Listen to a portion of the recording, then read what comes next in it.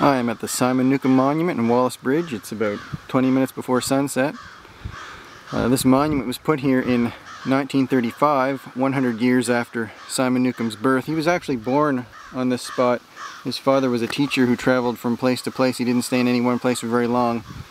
Um, Newcomb wasn't much for organized education. He was a school dropout or runaway he was an apprentice to a herbalist and he didn't like that for very long so he ended up reuniting with his family and they ended up in Maryland where he uh, became a teacher, professor, uh, ended up being a rear admiral in the, in the US Navy. Um, his achievements included pinning down uh, the exact speed of light. He used tests to prove As that. As you can see, the site that the monument sets on is pretty small. And for a long time, that's all um, there was year or so, the local museum, the Wallace Area Museum, has purchased this property surrounding the monument and uh, we're going to expand it into a park. Some of the work's already been done, walkways, parking lot, they just seeded here last week, local volunteers. Uh, right here is where my next big project will be going. It will be a monument to commemorate Willard Boyle,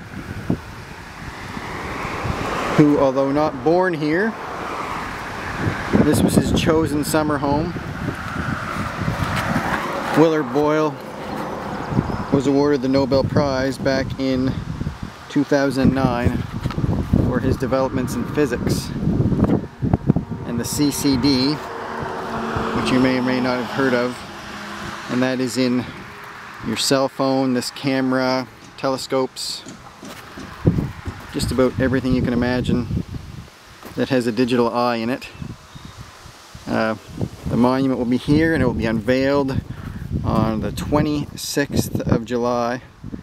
Uh, I don't know how many people will be here, but I will obviously be here and uh, I will definitely post more videos and pictures after it is up.